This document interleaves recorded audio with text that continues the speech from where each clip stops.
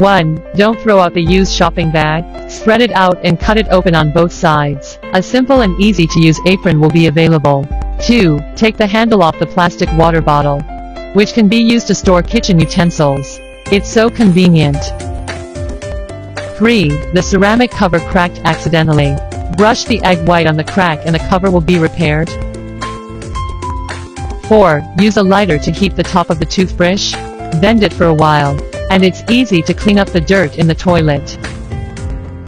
Click on the home link for more surprises.